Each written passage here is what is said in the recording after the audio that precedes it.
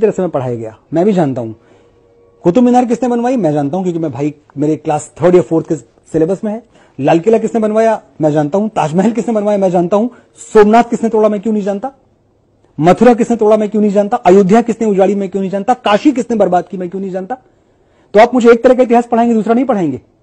तो ये जो सिलेक्टिव हिस्ट्री मुझे पढ़ाना है तो ये गलती किसकी है? जिन लोगों ने मेरा पाठ्यक्रम निर्धारित किया है, उनकी गलती है। उसको करेक्ट करने का टाइम आया है।